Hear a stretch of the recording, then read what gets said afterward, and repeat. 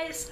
So it is that time again. It's time for me to share with you all my nail polish picks for March. I can't believe March is over already. Um, Easter is really, really quick here in a couple days, so happy Easter. Um, I'm just going to jump right into it. This is where I show you all of the nail polishes that I chose to wear for the month. So it's quite a lot this month actually. I changed my nails a ton. Um, so let's just jump right into it. The first nail polish that I wore this month is this Wet n Wild Mega Last Nail Polish in On a Trip. It's number 213C. It's a really, really pretty purple shade.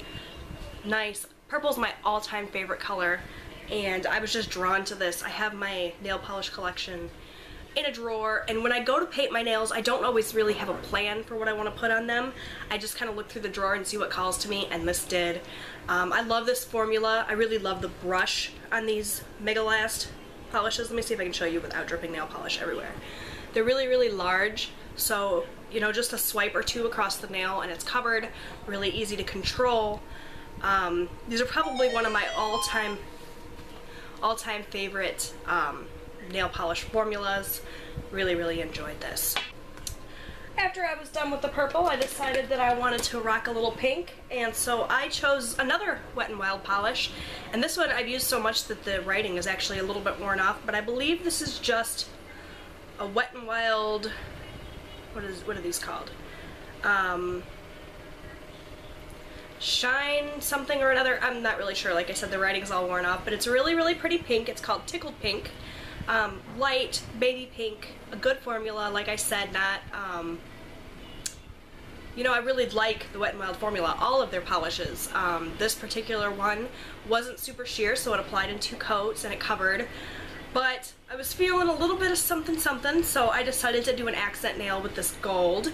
This is an e.l.f. polish called Gold Star, and it's a glitter top coat. Um, it's just really bright gold um,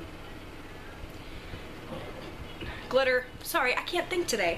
And I layered this, because it's just a top coat, it's not super um, opaque or anything, I layered this on top of Revlon's gold coin. So what I did is I did this on all of my nails except for my ring finger and I just applied a coat of this Revlon gold coin and this bright um, gold glitter on top and it made for a really really nice um, pretty manicure. Sorry you guys, I don't know what my train of thought is doing today. I think it's outside enjoying the warmer weather because it's about 45 degrees out today.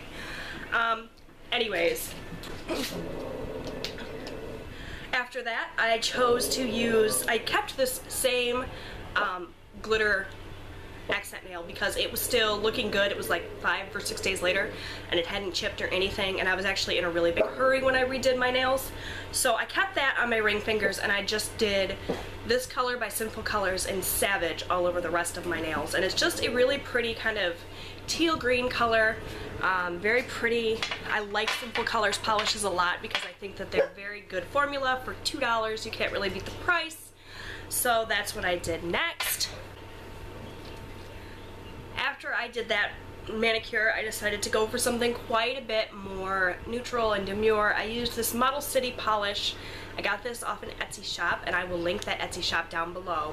And this is in the color Orangey Just Peachy, and it is a really, really, really neutral, um, kind of peachy orange shade. It looks almost nude on the nail. It's really beautiful.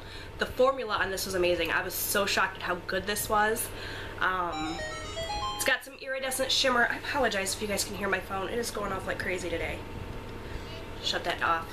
Um, it's just really, really nice formula. I highly recommend this um, Etsy shop. The color was great, and I have some more of these Model City polishes that I'm definitely intrigued to use now that I've used this one and like it so much. So that's what I did next.